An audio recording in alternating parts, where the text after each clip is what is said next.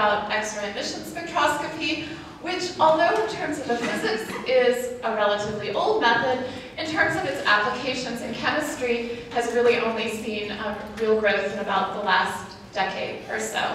Before I get started, though, um, I want to um, especially thank um, all of the Orga team, all of the tutors and the organizers, um, and especially my group, who's been doing the X-ray tutorials, and specifically Stefan, Nicole, Joanna, and Vlad. So um, hopefully this afternoon you guys um, might have more questions for them after my talk. So, you know, keep it lively for them. They like a challenge. So, um, and it keeps our life more interesting. Okay, so over this week, we've been sort of taking a journey through different um, aspects of spectroscopy, and we've pretty much covered um, the entire um, electromagnetic spectrum. Yesterday, you started um, with EPR down in the microwave range and up into the X-ray or gamma range with Mossbauer's. We know, of course, with Mossbauer, the only difference between gamma rays and X-rays is the source, and that gamma rays are coming from a natural source. But today we're going to focus on primarily on X-ray spectroscopies. So these are um, spectroscopies that use energies on the order of hundreds of electron volts to tens of thousands of electron volts. So for the most part, we're talking about deep core excitations of atoms, and we're using that to get information about both the electronic and the geometric structure. Okay, so most of the time, for many of you who may be familiar with X-ray spectroscopy, you probably think about it as something that falls in the realm of the synchrotron scientist, and that's true for the most part. Most of the spectroscopy I'll talk about today has um, typically been done using a synchrotron source, um, where these actually originated out of particle colliders in the physics community, um, but the realization was that when one accelerates um, particles um, in a circular um, pattern, at tangents to that you can produce very intense sources of X-rays. And this is a plot of photon energy relative to spectral brightness. Um, where spectral brightness basically refers to the concentration of radiation. How many photons can I get in a given area per second?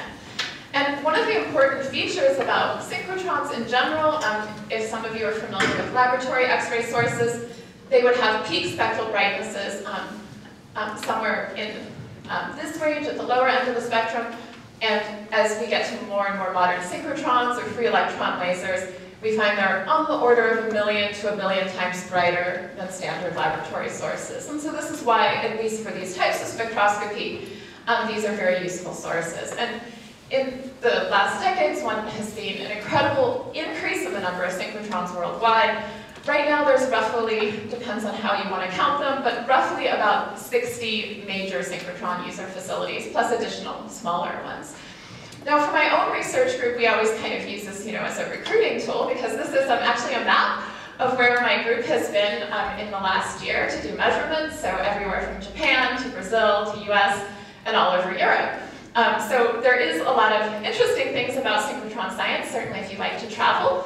Um, I normally leave out the part that when they do travel there, they don't get to sleep, but you know, that's just a side note, so if you know, you want to go to Grenoble, but spend most of your time underground. Um, it's, it's a feature.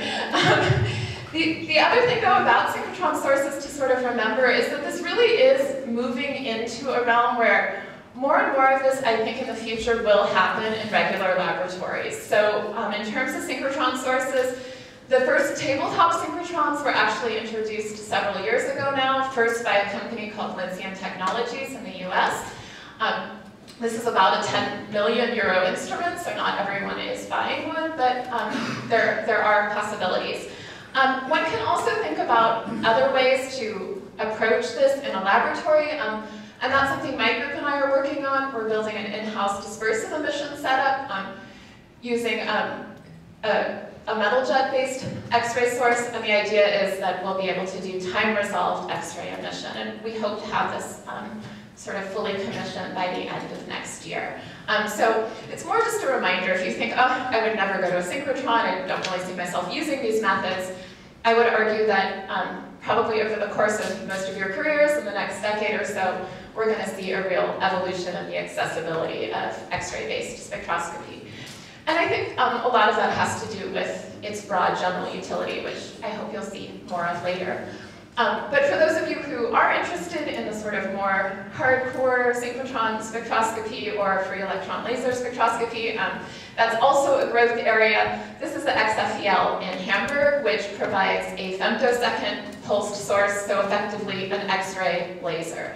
Um, and this is opening up really exciting opportunities in very short time domains that were previously accessible only in the optical regime. So this is another exciting growth area. Okay, but let's get into just the basics of um, the talk today. What I would like to do is to begin by introducing you to X-ray absorption spectroscopy, um, most commonly, of course, abbreviated as XAS. You'll also see this is abbreviated as XANES for the X-ray absorption near edge structure. We'll begin by just going through some basic definitions, talk about the experimental um, configuration, the information you can get out of it, and sort of how one interprets this data from both a qualitative and a quantitative perspective. Um, we'll then go into the details of um, um, and then finally towards the end, um, a little bit about X-ray emission. And then we'll just see how we do on time, whether or not um, there's time for the applications or whether or not you just um, look through those later to get a better idea. Okay, so let's start with the basics of really any basic X-ray absorption spectrum. So the idea here is that an edge results whenever a core electron absorbs an energy equal to or greater than its binding energy. Um, and we basically then just label the edges according to the shell that that electron originates from. So in the case of a K-edge, we're talking about a 1s excitation. L edges would be 2s and 2p. 3s, 3p, 3d would refer to M edges. Now these vary greatly, of course, because they are core electrons, so just as an example, the copper K-edge takes about 9,000 electron volts to ionize a 1s core electron.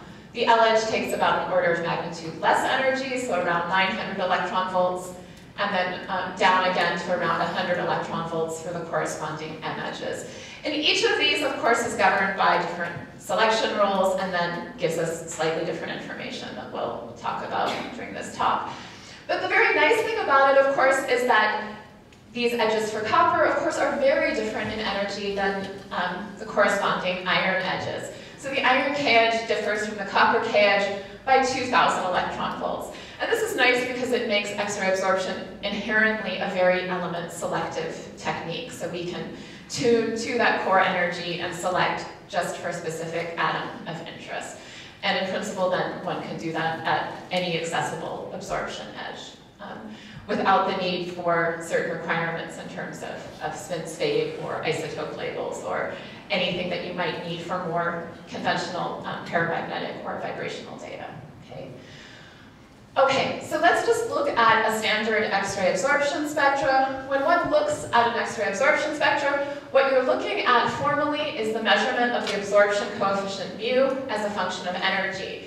And generally what one observes is the sharp discontinuity of the spectrum. This is what we refer to as an edge. That's effectively the point at which ionization actually occurs. Okay? Beyond the edge then, um, once that um, electron has been ionized to the continuum, it can then interact with neighboring atoms, um, producing the, the well-known EXAFS, or extended X-ray absorption fine structure region. This gives you primarily metrical information about an absorber, whereas the XANES region um, gives you primarily um, electronic as well as geometric information. And so what I'd like to do first is focus a little bit on the information that you can get out of the XANES, and then we will move later to the EXAFS. Um, but I guess it's just perhaps important to point out why you might be interested in looking at X-ray absorption edges and XANES spectra in detail. As I already pointed out, one of the biggest advantages of X-ray absorption is that it is element specific and that we can apply it to almost any system in any form. So gases, solids, um, flowing solutions, frozen solutions, etc. Um, the other useful part about it is that it's very sensitive to the local geometric and electronic structure of absorbers. So this means, especially for those of us doing inorganic chemistry, it's quite useful to get out information about the oxidation state, the spin state, ligation, and site symmetry.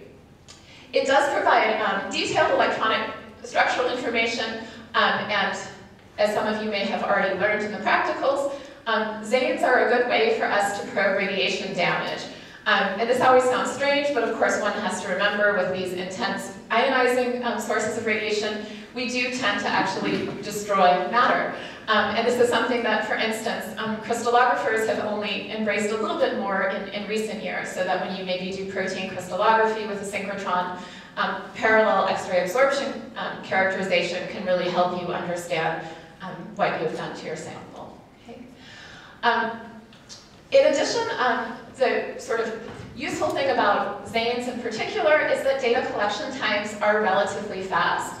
So for most solid state materials, um, we can collect spectra in a matter of minutes. Um, of course, for very dilute solutions, then the, the time scales up. Um, but it's much faster to get a XANES measurement because it's intrinsically intense compared to EXAFS. Um, it, it also requires less concentrated samples than EXAFS. We can do X-ray absorption at multiple edges, so if you have a sample that has both iron and sulfur in it, you can measure both of those and get a little bit more detailed information. Um, and of course, I think an important lesson just generally, um, and sort of a theme that I hope you get out of this whole summer school, is that X-ray absorption can be used to complement other methods. And sort of I think an idea that hopefully comes out of this school is that each method that you use from EPR to Mossbauer to X-ray absorption should hopefully um, come together with theory to form a cohesive picture. And so that's sort of ultimately the goal in all of this. Okay, so before we go into more detail, let's just briefly speak about this experiment and how one goes about doing this. So in general, um, the way you set up an X-ray absorption experiment is really not so different than um, a UV vis measurement that many of you have done before. Um, instead of having your optical source, you have your X-ray source from a synchrotron. Um, you measure the incident intensity in an ionization chamber. You then pass beam through your sample and measure an ionization chamber behind it. So in the simplest form, um, this kind of looks like a fancy absorption um, measurement, and in fact, that's all it is. Now, Depending on the energy that we're interested in, the experimental setup will change. So this setup that I'm showing you um, is what we would normally refer to as a hard X-ray um, beam line. And that means that typically you would need 5,000 electron volts or higher so that the X-rays can basically readily pass through air. Okay? And so this is actually, of course, all enclosed inside a big leaded hutch when we do the actual experiment. Now, as we go to lower energies, um, so say 2 to 5 keV, the X-rays will no longer have a very long path length in air. And so instead of being able to enclose the hutch um, just in air, one might often go to a helium environment. Um, at energies lower than about 2,000 electron volts, typically everything needs to be enclosed in vacuum. And this, of course, um, presents new experimental challenges that I won't go into today, but it's something that's helpful to be aware of. Okay. There's also other more specialized setups for things like X-ray emission or um, high resolution X-ray absorption. Um, I won't really go into that in detail. I'll just touch on it briefly at the end of this talk.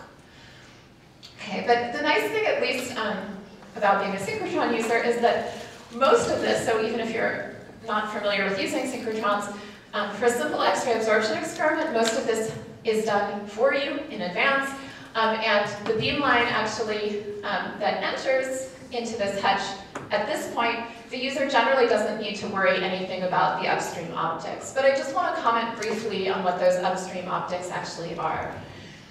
So basically, coming off the synchrotron ring, we have an insertion device, um, which can be um, either a wiggler or an undulator, but basically these are magnets with um, poles of alternating sign that increase the intensity of the beam. The beam then can be focused by um, X-ray mirrors. Um, typically, um, these have coats of either rhodium or nickel, depending on the energy we're running at. And then after um, that we use a double crystal monochromator to actually select the energy, so the selection is just based simply on Bragg's law.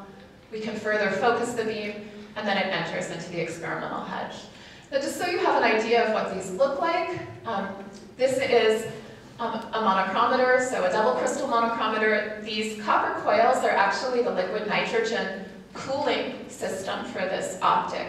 Does anyone have an idea why we're cooling an optic with liquid nitrogen? Any ideas? Exactly, because of the high energy. So this is another sort of statement about the intensities of these sources. If we were to put straight beam from a, modern insertion device beamline onto a silicon optic, we would destroy it. And so basically to minimize destruction of our optics and our mirrors, they typically need intense cooling. Um, so oftentimes that is liquid nitrogen. Um, and similarly, here's the X-ray mirrors. These are typically about um, a meter long and, as I mentioned, coated with an appropriate metal.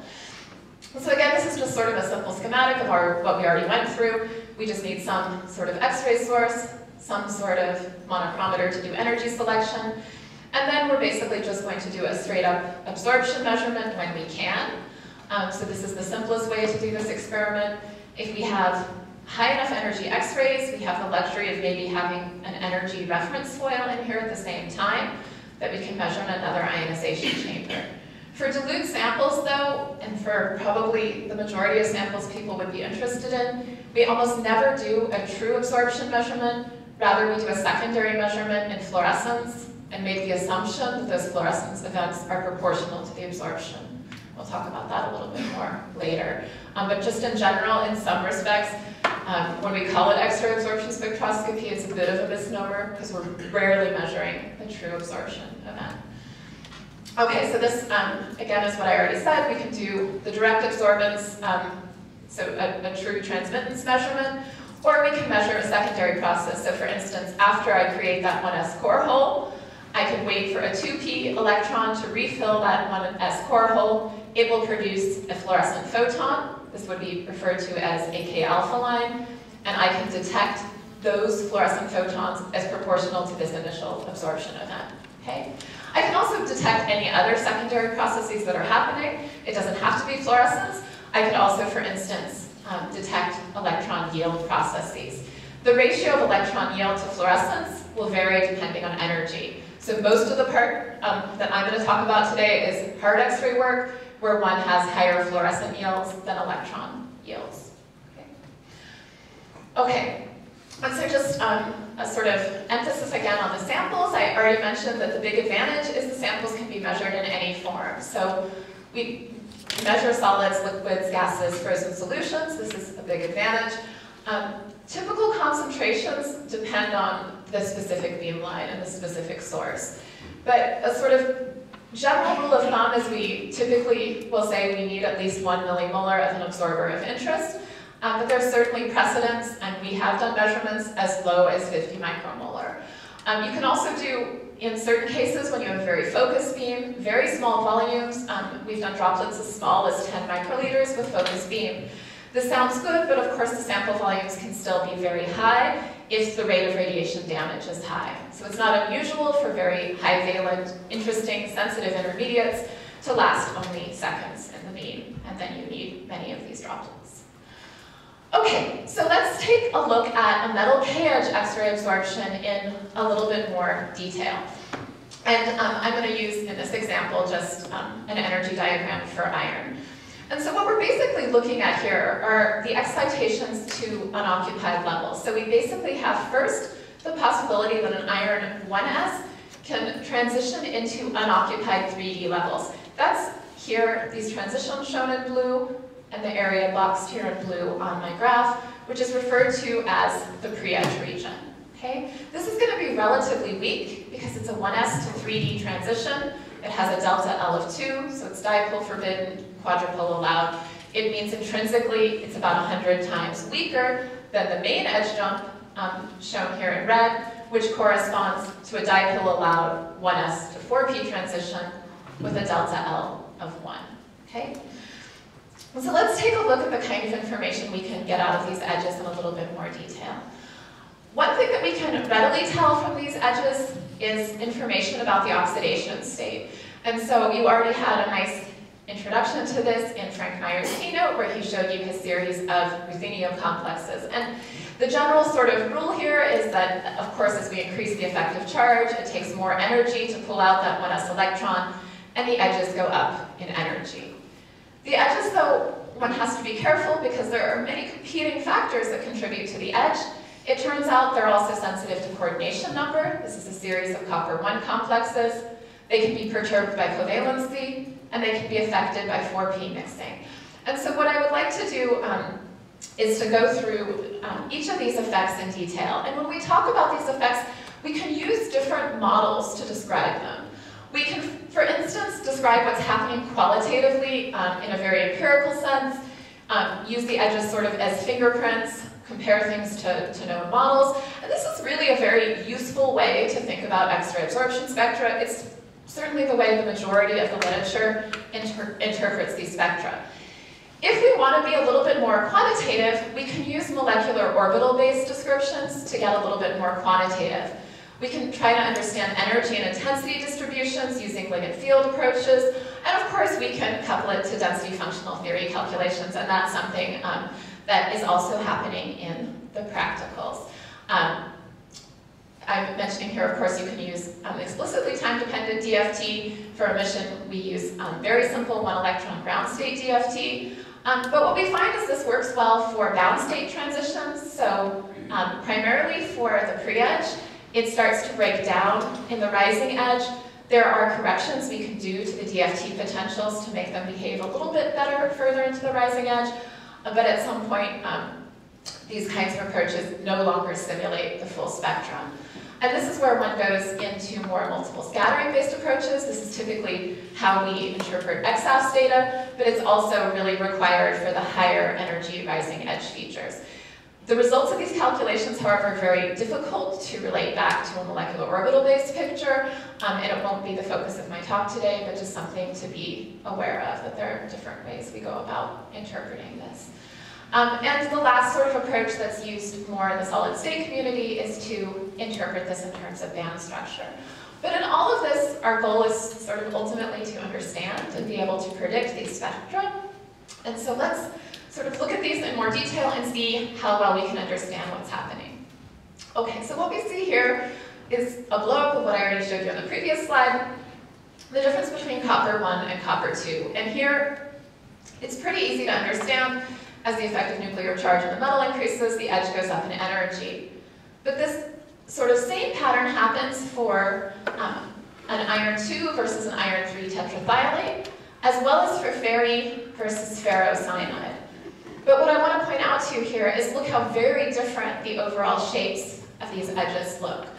Um, so the, the cyanide ligated edge um, peaks here at 7130. All of it's to much higher energy, um, whereas in the tetrathiolate case, 7130 is now hitting well above our lowest energy feature. And so it means that you just need to be very careful about how you make oxidation state assignments based on rising edges. And you really need to be comparing models in similar environments. So we always sort of need more information um, to sort of rigorously interpret what's happening in these edges. But we can certainly get information about trends. Okay. The other effect that um, happens is that the coordination environment can actually affect the rising edge intensity that we observe.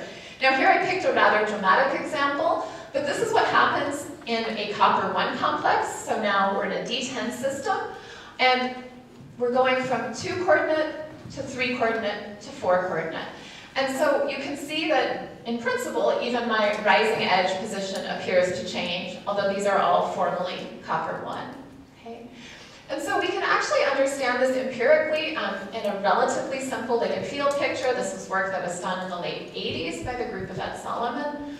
Um, and what they were able to show is, if you think about this, um, if we think about the rising edge as a 1s to 4p transition, then in the absence of any ligands, I have degenerate 4p, x, y, and z orbitals. Now if I think about bringing in these ligands along my z-axis, then I basically have um, an anti-bonding interaction that raises the energy of the 4pz, and my 4pxy remain lowest in energy. So my lowest energy transition would be to a doubly degenerate pxy, um, with the pz being somewhere buried in the rising edge to higher energy. Now, if we go to a three-coordinate complex and now bring in ligands within the YZ plane, both the PY and PZ are raised to higher energy through anti-bonding interactions, and now my lowest energy transition is to the 4px, um, and that should be with roughly half the intensity that I saw for the two-coordinate, and that's exactly what happens. Okay? When we finally go to a tetrahedral complex, now we bring in um, ligands in Px, Y, and Z, raise all of these in energy, have a greater anti-bonding interaction, and eventually, basically, my 1s to 4p feature becomes buried in the rising edge. And so this is at least a way to kind of empirically get a, a handle on what's happening, and um, these are sort of generally transferable trends. These trends, though, can become complicated by other factors. Um, so in principle, we don't often know exactly where this 1s to 4p, 4p feature is occurring. We have the possibility of other processes happening. For instance, um, the idea that you could have 1s to 4p plus ligand to metal charge transfer transitions, and this has been assigned in copper-2 complexes. So here the idea is um, it's a less pronounced effect, but we have changes in this spectral region um, that have to do with the covalency of the metal site. Now these actually happen to be um, copper protein samples, um, where basically the axial ligand is changing, um, and the site actually is varying in the covalency of a copper thiolate bond. Now the way this is sort of interpreted is that you start um, basically at a ground state with a 3D9 system, so one hole in the 3D manifold. We do a 1s to 4p transition, and in the presence of the 1s core hole, um, your primarily metal-based orbitals can relax below the level of the ligands, allowing for a low energy ligand to metal charge transfer process. Okay? And so this is what's referred to in X-ray spectroscopy as a shakedown transition, and through a valence bond configuration interaction type model, one can use the intensity of these shakedowns to get some information about um, site um, changes in the covalency of the site. Okay? Um, but it's, of course, not all that simple. I'm showing here now another example of what happens as we go now all iron 3 um, with either um, fluorine, chlorine, or bromine coordination. And so even though these are um, all iron 3, again, you can see that the edge positions vary wildly. And that has in part to do probably with differences in covalency over this series, um, certainly, um, the most ionic um, is the fluoride, which is at higher energy, and as we increase covalency, the edge moves down.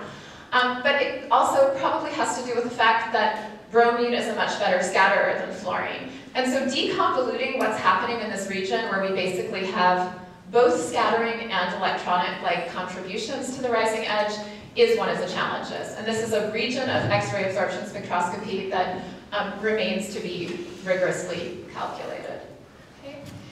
okay, but let's focus on the pre-edge, which I said is something that we can right now do very well computationally and can then use it in a much more predictive manner. And I think in this sense, it's useful to talk about um, some of the early history of where these pre-edge assignments actually came from. Um, and this is work um, from Shulman um, in the late 1970s, who was at Yale at the time. And what he observed um, is he looked at a series of octahedral complexes um, with manganese, iron, cobalt, nickel, and zinc. And what he realized is that there was always a weak pre-edge feature as long as there was some open shell D character. And when he got to zinc, which is D10, he noticed that pre-edge was actually absent. And so at that time, he was the first person to sort of assign this as a quadrupole allowed 1s to 3D transition. Um, but at the time, he argued that perhaps one could also get vibronic mixing of 3D and 4P levels. And so one wanted an experiment that could explicitly show this was truly a quadrupole transition. And that came um, just about six years later or so, um, again work from Ed Solomon's lab, where they looked at polarized single crystal X-ray absorption of D4H copper tetrachloride. And so here's um, the molecule that they're actually looking at, where one in principle expects um, the possibility of a 1s transition to the unoccupied 3d x squared minus y squared on the copper. And what they saw as they um, took this single crystal and rotated it um, through, the, um, through the beam is that they see a fourfold periodicity where they have um, maximums in the pre-edge intensity when they're along a copper chloride bond and minimums in the intensity when they were bisecting the bond. And so this fourfold periodicity, they actually assigned to transitions that experimentally were explicitly to a dx squared minus y squared type orbital. Um, they do, however, interestingly have this constant offset, um, which in principle still could be some amount of contribution from vibronic coupling, or it might even be a slight misalignment of those two molecules within the unit cell. But this just gives you an idea of sort of the history of this and how one went about, at least initially, explicitly assigning these features. Now, if we know sort of explicitly that these are 1s to 3d transitions, we can use simple knowledge of group theory to understand how these transitions might change in intensity. Okay? And so this is um, a relatively simple example, but what you see here is octahedral ferric tetrachloride, which has a relatively weak pre-edge, and when we go to the tetrahedral, we gain intensity. Now it's quite easy to understand this if we just think about simple group theory. This is a 1s to 3d transition where my 3d orbitals transform as T2g and EG. My 4p orbitals, however, transform as T1u, so there's no possibility of 3d 4p mixing, and by group theory, this should be just a pure 1s to 3d transition. When we sort of test this and then look at the tetrahedral complexes, now I have my dxy, dxz, and yz that transform as T2. Um, I also have 4p orbitals that transform as T2, and I have formally allowed mixing, which experimentally I can then observe. Um, and this is, to me, always a really fun connection for X-ray absorption spectroscopy because so often you really can go back to your undergraduate group theory, look at the character tables, and start to get some picture of the relationship between symmetry and observed intensity. Um, and that you can do already in the absence of doing any calculation. Okay, the other sort of general paradigm that one can often make about um, X-ray absorption spectra is when I go um, from a six coordinate complex to a five coordinate complex, it will gain intensity. And again, this is the same basic group theory consideration that when I remove centrosymmetry, I provide a mechanism for PD mixing. And this has been used wildly, um, used widely, um, or perhaps wildly as well, but um, in the um, biochemistry community in order to get information about the coordination environment of iron in a complex protein. Okay? Um, and it at least gives you sort of some sort of fingerprint metric of the observed differences. Um, similarly, another sort of clearly established paradigm is this idea that the pre-edges go up about one electron volt in energy as you increase oxidation state. This is a nice series of iron 4, 5, and 6, and relatively similar environments, and that's where you can nicely see that trend. Okay, um, but part of the reason that um, that that we're here and we're doing this workshop is that um, we, we really want to sort of rigorously understand this, to be able to interpret it in theory, um, and not just to have these empirical fingerprints, because sometimes we find there are definitely exceptions to these rules. Um, and this is an example of one of those exceptions. Here I'm showing, again, the same five coordinate and six coordinate um, pre-edges I showed, but now this is a six coordinate iron complex, but because it has this chelating um, bisnitride that basically distorts the centrosymmetry, um, it actually increases in intensity. And so if I only use the simple metric that this area increasing intensity relative to the six coordinate um, complex means that five coordinate, I would of course arrive at the wrong conclusion. And so this is just sort of um, a, a, cautionary note. Um, similarly, we can look at um, iron 4 and 5 complexes reported in the literature that actually appear at the same pre-edge energy. Now the reason for this we can understand once we know the structures, and that actually is because this iron 5 complex is actually um, only 5 coordinate. It has um, a weaker um, ligand field, and so basically it's not as destabilized as it would be if it were 6 coordinate. And so one has to sort of deconvolute all the possible contributions to the pre-edge based on a proposed structure. And so this is where um, ORCA actually comes in. Um, and this is what some of you um, will be doing in the practicals, and that is to use a time-dependent DFT approach to calculate both the dipole, the quadrupole contributions, and the changes in the pre-edge energies. And this is something now um, that we first did with ORCA um, quite a few years ago now, just to demonstrate that these simple trends that we already talked through using group theory are reproduced within a computational framework. And so this is a nice comparison where you see, again, what we looked at already, the same octahedral ferric tetrachloride shown in blue. We calculate that, and we see that all we get are quadrupole contributions. In contrast, when we do this for tetrahedral ferric tetrachloride, we see quadrupole contributions, but in addition to that, the significant dipole-based contribution that we already predicted looking at a character table, right? And I think that's um, one of the real strengths of this method. We can do the same thing um, with the high valent iron species that I showed you. Um, on the left here are experimental data for a series of iron 4 complexes as well as iron 5 complexes. They do vary in energies and intensities, so that can make sort of simple fingerprints challenging. But what we find in these cases is that um, we can pretty well generally predict the trends in these spectra. Um, and that allows us to use it in a little bit more of a predictive fashion. And this is just another way to show that. Um, we, this is now a series of 20 model complexes. Um, I think by now we've probably applied this to more than 60 complexes at iron alone. Um, and what we find is that we maintain experimental correlations between the areas and intensities, and also between the energies and the intensities um, once a constant shift is applied. And so this allows you to use it in a pretty reliable way. And I hope at least some of you have opportunities to try that practicals. Okay, so let's move on from the edge into the EXAFS region. But of course, keeping in mind that the information you get from the edge region is now a constraint to help you um, fit your EXAFS data. That's always something very useful to keep in mind. Okay.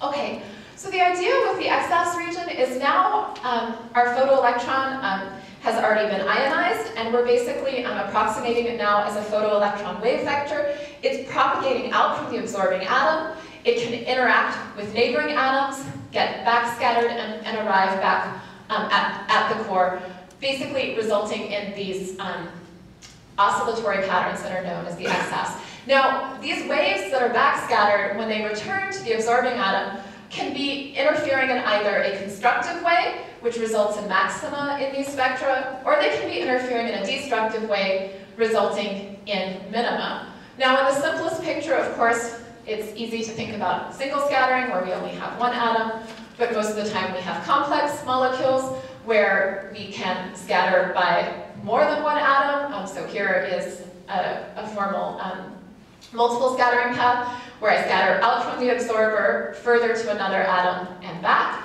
Um, and this actually um, gives us some information about angles, especially if we have rigid structures like porphyrins or things, we can get information about um, buckling and, and, changes in that multiple scattering.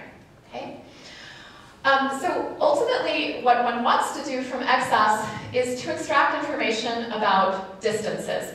That's probably what EXAFS can do best. Distances typically have errors on the order of about 0.01 angstroms. So this is its real strength, especially over, um, say, protein crystallography, where the errors tend to be much larger. Um, coordination numbers, though, and I'll explain why in a bit, have much larger errors, so on the order of 20 to 25%. This means that from the EXAFS, you probably can't tell 5 from 6 coordinate apart, but perhaps with a coupled pre-edge analysis together with your ORCA calculations, you could sort this out, okay? Um, types of ligands from EXAFS, one can typically only tell within Z plus or minus one. Um, this means that carbon, nitrogen, and oxygen all look the same from the perspective of EXAFS. They have a similar, similar number of electrons, and as a result, they're similar backscatterers. Um, and this is definitely a limitation, where again, input from other spectroscopy can help you limit your model.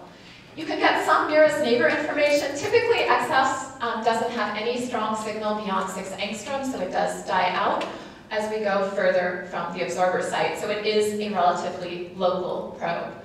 Um, and if we use the multiple scattering, we can get bound angle information in some cases. The important thing to keep in mind is that the standard EXAFS measurement sees the average of all photoabsorbers. This means if I have multiple irons in the system that I'm interested in, I see all of those together, and this can be a challenge in terms of deconvoluting. There are specialized now site-selective um, measurements that in certain cases can help deconvolute this. And if anybody um, is interested in learning more about that, I'm happy to talk to you about that later. Okay, so let's just take, sorry, take a look at, my pointer is not happy at the moment. Just take a look at really how we get from an X-ray absorption spectrum that comes off the beamline to ultimately processing EXAFS data from which we can extract distance information. And so as I said, what we actually measure is the absorption coefficient mu as a function of energy. This would be um, raw data, sort of idealized example, but nice raw data straight off a beamline. Um, what we would do then is do a pre-edge subtraction to remove um, sort of any background scatter or any absorption from lighter atoms to get this flat spectrum.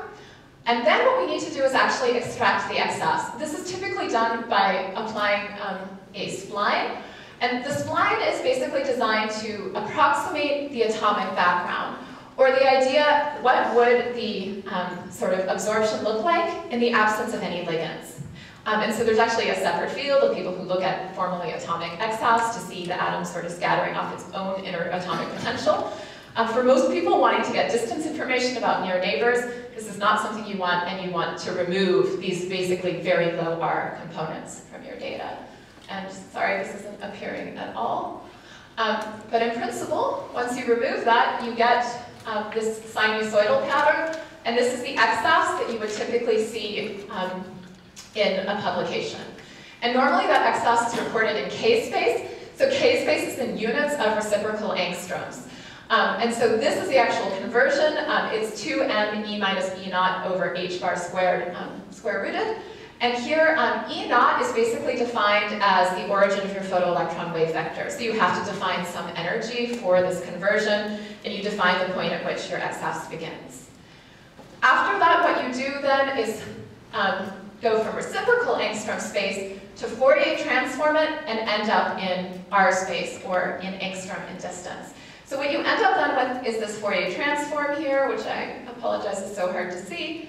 But basically, if a photoabsorber is sitting here at zero, this intense peak here in the Fourier transform tells you I have a lot of something at roughly two angstroms from my photoabsorber. Okay? And basically, the goal of fitting the EXAFS is basically to deconvolute all the components that contribute to give you this total sine wave. Okay? So let's just look at this um, slightly more mathematically. When we look at this, of course, um, for EXAFS, we've done our initial measurement in energy space. We've measured the absorption coefficient mu as a function of energy, and we approximate this atomic background using mu naught. So this is a spline that's relatively low frequency. Um, we subtract that out and then normalize with respect to a Victoreen-like function. Um, and as I already mentioned, um, we then typically convert to K-space, so we're conveniently in reciprocal angstroms for a Fourier transform that ends up in angstrom space. Okay, and so just to sort of understand what's happening here in terms of just um, a simple scattering-like process, we basically can um, sort of approximate our outgoing photoelectron wave vector in terms of this exponential, and then use that same exponential term to approximate the returning photoelectron. But of course the returning photoelectron is modulated, and it's modulated by both an amplitude and a phase of the atom that it's actually scattered off of, okay? And so this would be my f of k and my delta k for the amplitude and phase. So then what we want to do is actually to basically just multiply this out and then use Euler's theorem to go from my exponentials into a sine-like wave. And then we start to get to something that looks a little bit more like the standard EXAFS equation. In the standard EXAFS equation, what we see is that we have a linear dependence on n, which is the coordination number. We're dependent on an amplitude um, and a phase function specific to a given absorber. And then importantly, we have um, a dependence on distance that dies out with 1 over r squared dependence. And this is, of course, what makes EXAFS a local probe. Okay? Now there's still something that's missing in this very simplified equation, and that is the fact that we haven't incorporated, incorporated any disorder terms. And so disorder gets incorporated in terms of a sigma squared, or for those of you who've done um, some crystallography, what's often referred to as a Debye-Waller. So this is our disorder parameter um, to account for the fact that we will have contributions both from thermal disorder as well as from static disorder. Okay? Okay, and so this is just the same thing repeated. I just put this in here for you to define what all of these parameters are. Um, and I should point out that in the EXAFS literature, you will see the amplitude function defined both as f or as big A, um, and the, um, the phase function either as delta or small alpha. So um, I have it both ways in my slides, my apologies, but you'll also see both ways in the literature. Okay, so let's look at this then a little bit more visually to understand the impact of each of these effects on actual um, spectra. These are actually calculated, so just idealized cases to show you the effect of each parameter. Okay, and so what it can do is just first calculate um, the effective distance. And what we see is, as I take a copper nitrogen vector from 2 angstroms to 3 angstroms to 4 angstroms, I see as I increase distance, um, the frequency of that wave increases, um, and the amplitude decreases, and here you can especially see it if you look at the Fourier transform in angstrom space, it decreases with this 1 over r squared dependence, which again emphasizes why this is a local probe. Okay? Um, perhaps the most obvious effect is the effect of the coordination number. So here, if I go from 1 copper nitrogen to 2 to 3, I simply um, decrease the amplitude of my EXAFS, as well as the amplitude of my Fourier transform, and that effect can be very clearly visualized. Okay?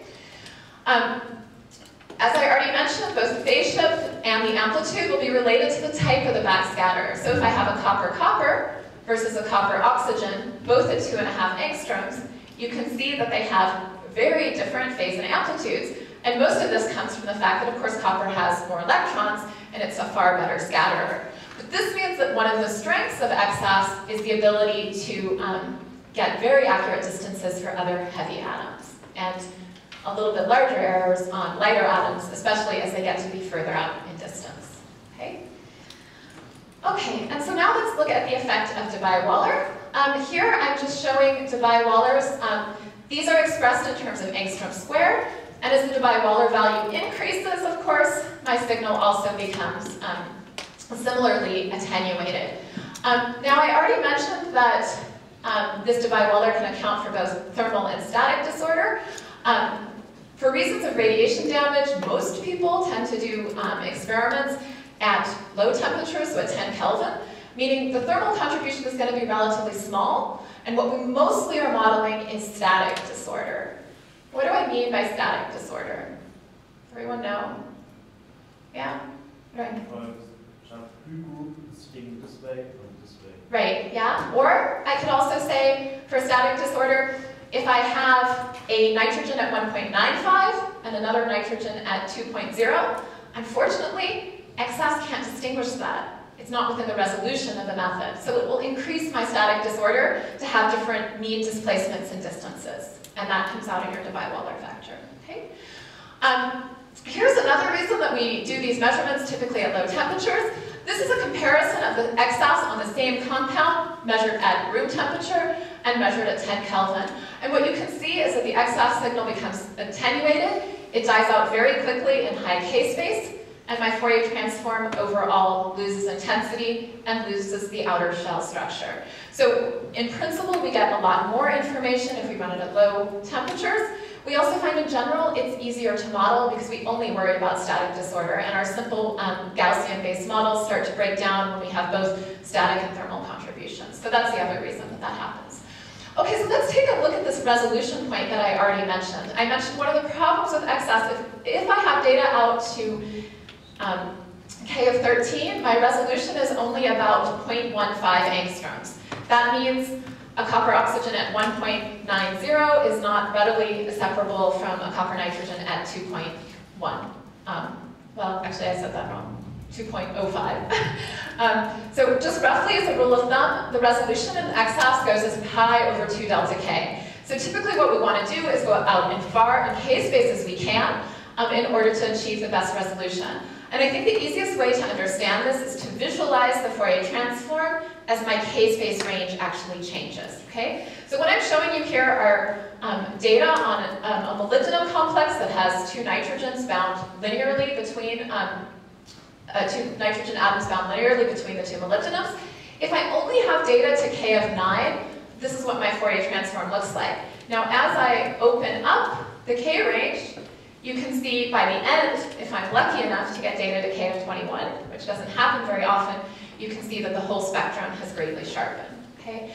And so this is now my resolution parameter, which gives me a much better chance of perhaps separating um, my terminal ligands from, say, my bridging ligands, if I can go further out in k-space. Okay, so um, just to sort of summarize the parameters that we've talked about for EXAFS, Intrinsically, the frequency will give you distance information, the phase shift will tell you the type of atom, and the amplitude will tell you something about the type of atom, the coordination number, and the structural disorder. And this is sort of inherently why we have such large errors on coordination number, um, and we have a lot of problems with properly modeling the Debye-Wallers. So this is kind of where um, the EXAFS analysis has the greatest problem. Um, but in principle, to just a general comment is that all XS analyses uh, often suffer from being inherently underdetermined, and so that's why, again, it's always useful if we have other input from other spectroscopic measurements and we can start to constrain these models. Okay, so just um, to, to take a look at a little bit of multiple scattering, because we haven't talked at all about multiple scattering, um, here what I'm showing is just a very simple picture of an iron with a bound cyanide. And so single scattering refers to just this iron-carbon scattering pathway um, that, that goes directly back, back, or what we would refer to as a two-leg pathway. We can also have single scattering at longer distance, so the iron scatters off the nitrogen and comes back. Or we can have so-called three-leg paths, where we go iron, carbon, nitrogen, and back or a four-leg path where we interact with every atom both on the outgoing and the return path. And so um, the reason I'm just mentioning this is that when one fits EXAFS, what you want to do is sort of to hopefully define these units and treat them in concert. Otherwise, you can see you quickly arrive at a very large number of free parameters. Um, and the nice thing, though, about this is, is that um, if one can constrain this, you can get out angular information. And so here I'm showing now, again, this iron-carbon-nitrogen interaction. And of course, as I change the angle, the single scattering actually always stays the same because this distance is fixed. Um, but what you can see is when I'm at 180 degrees, my multiple scattering is at a maximum. That's because when all of these three atoms are in a linear arrangement, I have a forward focusing effect giving me maximum Fourier transform intensity. And as I bend this bond, I start to lose intensity, and I don't start to gain intensity again until the angle is so steep that it's effectively a second bond. Okay? And so this is just to give you a little bit of a visual about how one would go about getting angular information out of these data. Um, and of course, we chose a really simple three-atom example, but you can already imagine the complexity that arises when you go, for instance, to add um, a histidine ring. Um, and then you can imagine a large number of paths where again you would want to treat this in a concerted way. And we could then basically look at what happens in terms of actually changing the orientation of this ring, um, wagging it in the plane or out of the plane will greatly change these multiple scattering contributions. And so this is sort of a more complex part of this analysis. Okay. Um, there are um, different approaches in terms of actually how you model XAS data. Um, I'm actually not going to read through these slides, but just to basically say that um, people either use, um, and probably not really at all anymore, people once used empirical approaches to sort of extract phase and amplitude parameters from models. Um, now, sort of more likely, people use multiple scattering-based theory, and this is largely probably the dominant code worldwide is now FEFF um, for calculating all of these multiple scattering interactions. Okay. And so the, the general sort of idea with this is that one first builds an initial model, uses a code like FEFF to calculate distance and disorder parameters, optimizes those parameters um, against experiments, uh, see if that's reasonably good, and sort of keep looping until one has some sort of optimal or range of optimal fits. Okay? But I think um, the reason in part that we're not doing EXAFS analysis as part of these practicals is that the current state of EXAFS theory is, I would say, yet to be predictive. We can't simply put in a model and predict spectra without fitting.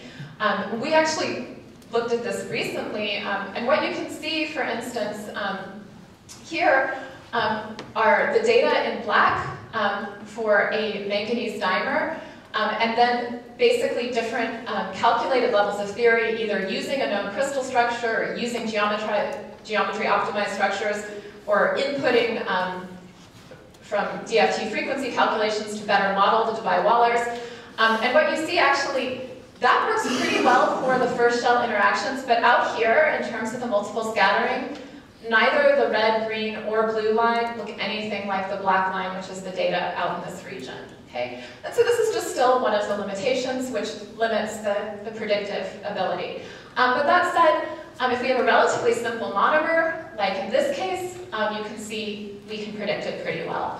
So our major problems have to do with these angular displacements and the longer range order that we really can't model very well. But what you can do really well is to get the first shell distances. Okay, so in um, the last part of my talk, I wanted to switch from X-ray absorption and talk how we can get more from just a standard X-ray absorption by actually um, measuring higher resolution and looking at the emission. And so this is the schematic um, that we already looked at before um, in terms of how we would measure uh, concentrated samples. Um, and I already mentioned that typically our dilute samples are measured in fluorescence. And so, of course, we would measure um, the 2p electron refilling the 1s core hole, giving us an intense k-alpha line. But of course, there's other events happening inside your sample after you create that core hole. A 2p electron can refill the 1s core hole. This is the k-alpha. Similarly, um, a 3p electron could refill that 1s core hole, and on top of that, there are all kinds of scattering events, okay? So one way to actually limit this is to use a detector that actually has some ability to, um, to, to, resolve um, features based on their energy. Typical solid-state detectors have energy resolutions um, or resolving powers of about 40. That means that iron, I can separate, um, I can sort of set a window that's about 150 to 200 electron volts wide. But that's really wide, and I'm not really going to be able to see any fine structure. So the way to start seeing fine structure and to overcome the limitations of most solid-state detectors is to go back to simple physics and to use a Bragg optic not only upstream for your monochromator, but downstream for your detection.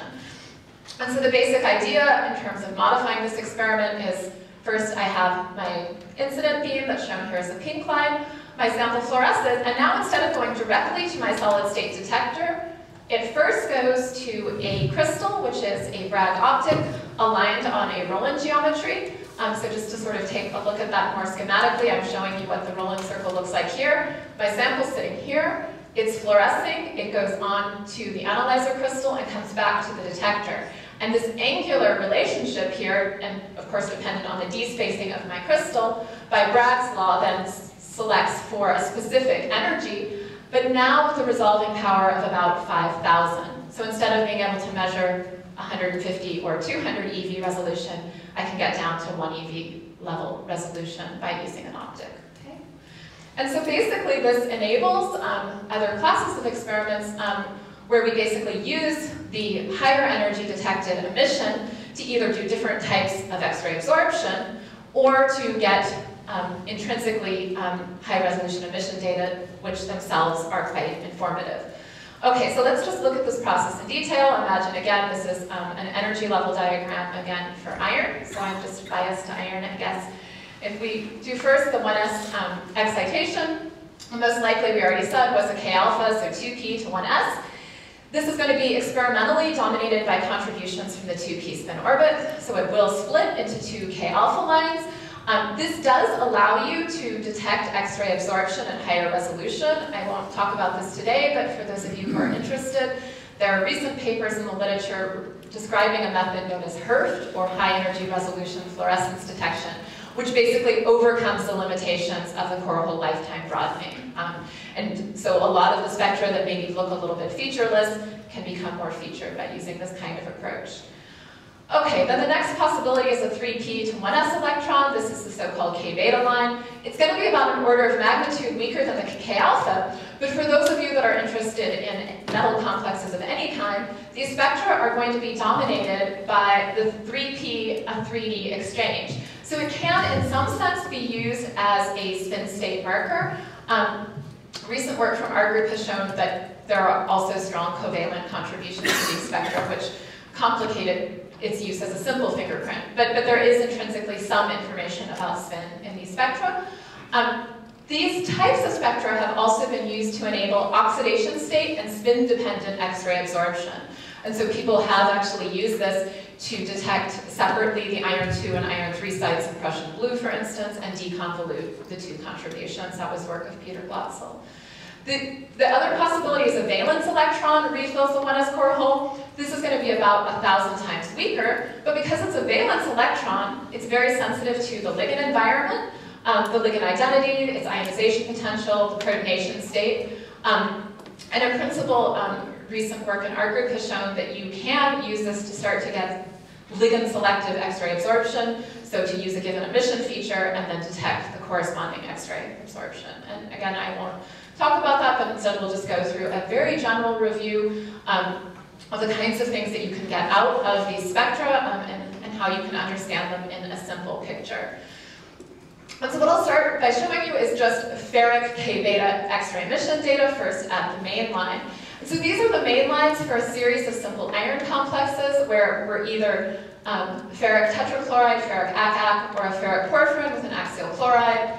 And below, a series of low-spin complexes, ferric hexacyanide, ferric TACN, and a ferric TPP bis-imidazole. And what you can immediately see is that there is a large change in the overall shape of these main lines, and this has simply to do with the number of unpaired electrons and the extent of PD exchange, which of course will be much larger for a 5-half system than for an S equals 1 half system. And so this was the spin state marker reference that I made um, before. We can also then take a look at the corresponding valence to core emission um, for these same compounds. And what you see is although they look quite similar at the K-beta mainline, there are dramatic differences in the valence to core region. Um, and that holds for both um, the high spin ferric complexes as well as the low spin ferric complexes. And what you can note is that also, I'm just blowing up the um, y-axis here, is that the intensity varies quite dramatically, um, with high spin complexes giving much weaker signals than low spin complexes. This has largely to do with metal ligand bond lengths and the extent of metal p mixing you can get um, depending on the metal ligand bond strength. Okay? Um, but effectively, um, one can also see the same trends for a related series of ferrous complexes. Again, the differences between high spin and low spin. Um, and in the valence region, there are higher intensities for all the low spin complexes. And here what's kind of interesting is um, we talked about sort of the difference between octahedral and tetrahedral at the pre-edge, right? And in the pre-edge, it really gained intensity. But here, what we see is this is now octahedral and tetrahedral, the red and the blue. Here, um, the red and the blue, they basically um, come close to overlaying. And so this is kind of um, something that we'll, we'll get back to when we look at the calculations. I'm actually going to just skip ahead. Um, so this, these were trends that we, we wanted to understand. And so again, we, we went to actually compute this within Orca. As I mentioned before, this is um, a very simple approach. It uses only a one electron simple ground state DFT and just takes the energy difference between those one electron Kohn-Sham orbitals. Um, and really, um, all that we require in this transition is that the molecular orbital involved in the emission process has some amount of metal character. Um, and so I want to actually take a look at, at what we actually calculated here. And here you can see that we get really good correlations between experiment and theory, um, and we see that it's basically 97% dipole contribution. Um, now, if we go back to what I mentioned before about this um, octahedral and tetrahedral ferric tetrachloride, you can see in the valence emission they basically superimpose. And by theory, they're also um, effectively identical. And this is kind of interesting because it sort of tells you that it's a different selection rule, right? So in the X-ray absorption, we really are doing a 1s to 3D transition. And here, all that matters is we have some amount of p character in a ligand-based orbital. And so um, this is just a reminder. Here you see the octahedral and tetrahedral are fairly similar. Um, and this is because most of these transitions are coming from ligand-based orbitals with a small amount of metal p, as opposed to this case where we're directly probing the d and seeing the intensity gain relatively, okay? And so this kind of, um, the way I like to think about this, if you think about putting these two experiments together, you effectively have a probe of occupied and unoccupied um, levels in a simple sort of molecular orbital picture that hopefully sort of pieces together from these two pieces of information, with one piece of it being far more sensitive to local site symmetry than the other. And the, the valence emission is really going to be dominated by the ligand identity um, and the distance. And so in a simple picture, the way you can look at this is that in something like ferrous tetrachloride, if you look at the molecular orbitals that are primarily giving rise to the observed transitions, these are largely um, chlorine P type um, orbitals, and to lower energy, the more localized um, chlorine 3s orbitals. Okay. This picture um, quickly becomes more complicated, even just going to something like TACN, because then we're talking about the linear combinations of orbitals that give rise to this, right? And so this is again why computations can be very helpful um, in terms of assigning these transitions. So I already mentioned that there are large differences in, in, intensity in terms of high spin and low spin sites, and this really has to come with um, the, metal ligand distance and how much p mixing you can actually get into um, the ligand. And of course, um, that is mediated through covalency, so at the shortest metal ligand bond distance, one predicts the greatest valence emission intensities, and as we um, increase the distance, there should be um, a clear fall off in that intensity. And so this just gives you sort of a visual way to understand it. And you already then, just by looking at valence emission data, have some um, indirect information about the local structure, which in principle, because of the strong correlation to a simple DFT picture, you should be able to readily validate. Okay? And as I mentioned, it's very sensitive to ionization potential. So as you go from something like nitrogen to oxygen to fluorine, what you nicely see are that these um, 2s features in the valence emission, they basically just walk in energy um, by almost 10 electron volts simply due to the difference in the ionization potential. And this is really useful, right, because this is something that EXAFS can separate out, but the valence emission can. Now for the two p-based orbitals, this becomes more complicated because they'll also have differences in the covalent interactions. But um, it can be a really useful way to identify light atoms. Further, um, it can also be used to get information about the ligand hybridization or the ligand protonation state. So we can actually see how, in particular, these weak 2s features will change upon a change of either um, hybridization, which results in um, an overall sort of smearing of the contributions, or a protonation event. Um, and work by Vera Krewald, who's one of your, um, has been one of your tutors this week, um, has shown that XES is directly sensitive to uh, protonation events. So what she did was to look at a series of manganese 4 oxos, um, where you had either a bis oxo, an oxo hydroxo, or a bis hydroxo, but otherwise basically the same ligand environment.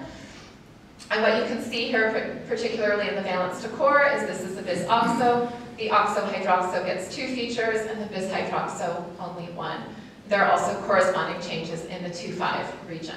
Um, and so this is just a nice way to sort of get um, information about local site um, protonation changes. And again, it can be used to, to complement other methods. Okay, but um, one of the last points I wanted to touch on with these valence emission spectra is just to sort of ask the question of can we understand how the ligand actually contributes to these spectra? And so one of the things that you'll see here is I've just chosen um, iron TACN, iron ACAC, um, and iron hexacyanide. And so I went from a sigma-only donor um, to a sigma donor uh, pi donor to a sigma donor pi acceptor, and I, at least we made the visual note that these are really different spectra, and can we understand how really the ligand is actually contributing to these spectra. And so what I already said is that the intensity mechanism for this is that you just need some amount of iron p character to mixed into whatever molecular orbital that is to give you this dipole allowed um, transition into the iron 1s core hole. But if we want to map out um, the nature of the ligand, what we need to then think about is, what if I thought about a different thought experiment, instead looked at what happens as I do a direct ligand P to ligand 1s transition. Okay, so this should be, a, in principle, an experiment where I have lots of intensity, um, but I just need to think about it first in the absence of any metal. So what would my pure ligand emission look like for, say, something like as simple as ammonia? And so this takes you back to your undergrad. Um, this is a very obviously simple MO diagram to construct. And we look at the, um, the A1, the E, and the A2 lone pair of ammonia. And what you can see is there's a huge prediction in calculated intensity. Um, but now I need to sort of modulate this into something that could interact with iron. Okay? And so still calculating this from the perspective of the ligand, I can take six ammonias, arrange them in space, and I get the red spectrum. I then put in a point charge over all three plus, and you can see the major modulation of this, and my pointer is dying, is that I get a stabilization of this lone pair. Yeah, so that's the actual charge stabilization of that lone pair is what we're showing in the computation.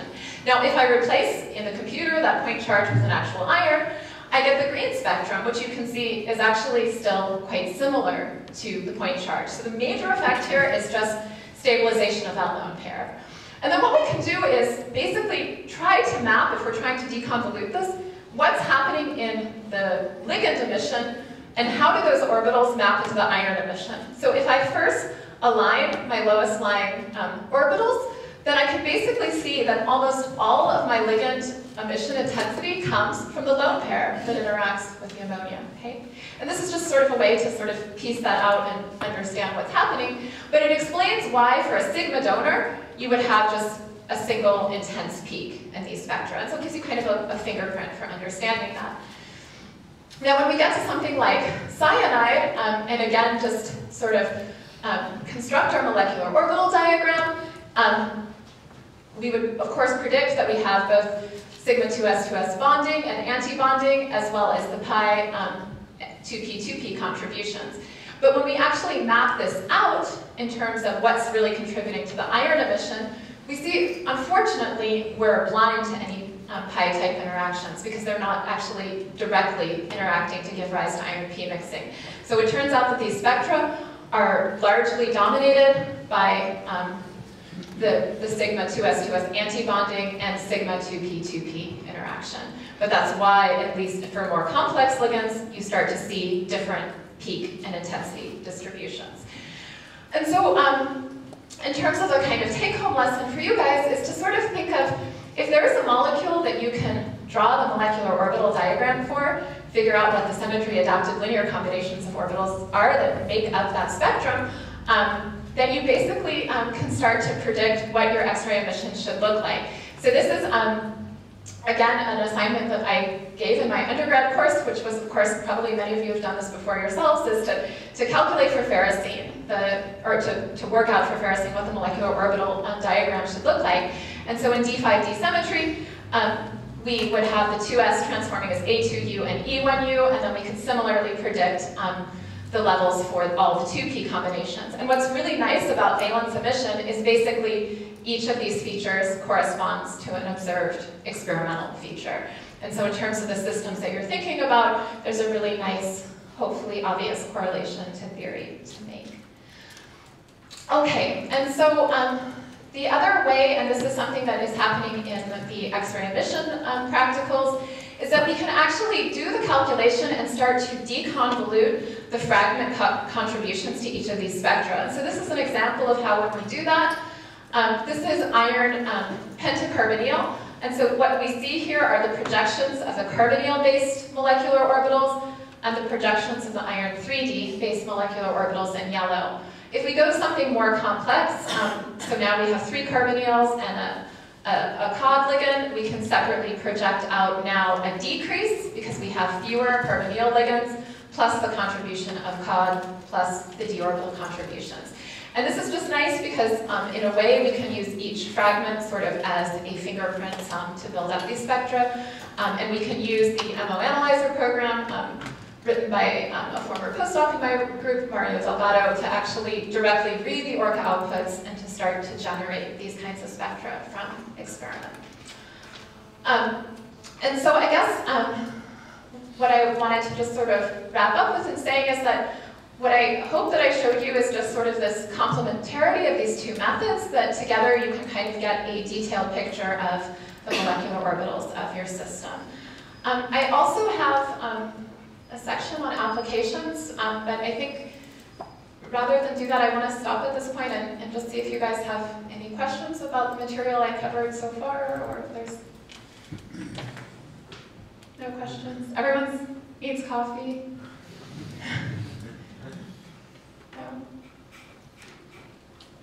Silenced. Okay, um, I think I'm, I, I could keep going through the applications. Should we just do that? Okay.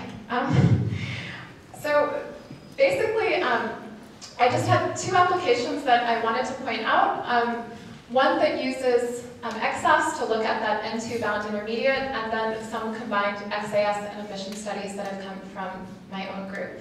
Um, but this is um, now, although it's an older study from the late 90s, um, this is work of Kit Cummins at MIT and Graham George at Stanford.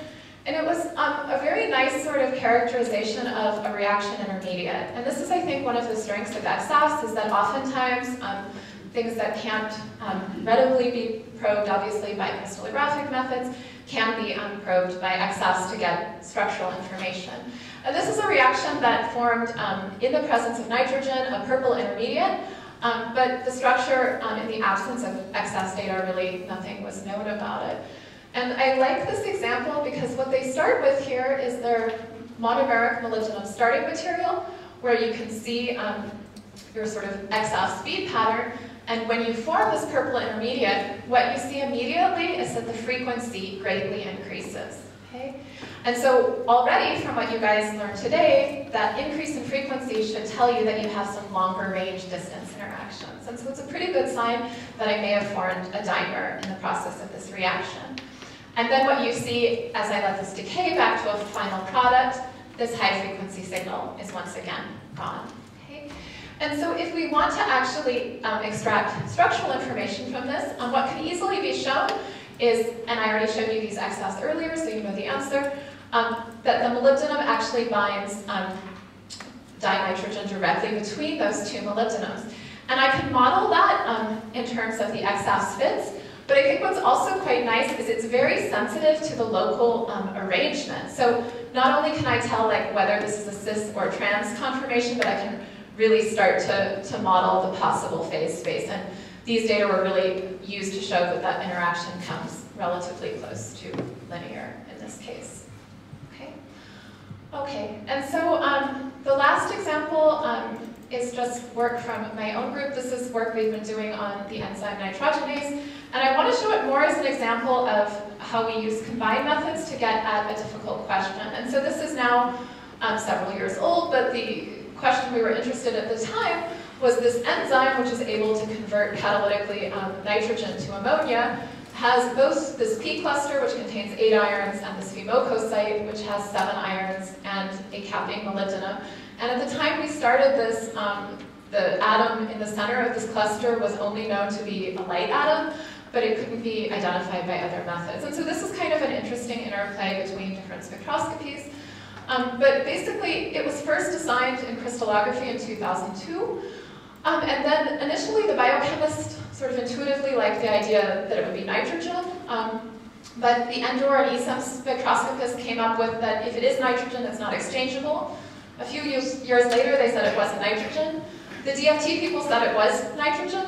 So then the DFT and the ENDOR people got together and they said it wasn't carbon or nitrogen unless it was magnetically decoupled. Um, so it was carbon, nitrogen, or oxygen was their result. Um, then people did some uh, QMMM calculations. They favored, um, they, they, indicated that carbon in the middle was energetically unfavorable, while a separate DFT study by Szilagyi favored carbon. Meanwhile, people did nuclear resonance vibrational spectroscopy and EXAFS. They said they could tell there was a light on it, but they couldn't identify it. So this was like, for me as an X-ray spectroscopist, something that sounded fun, and we wanted to just, before we did the protein, ask the simple question of could we identify a carbon in anything?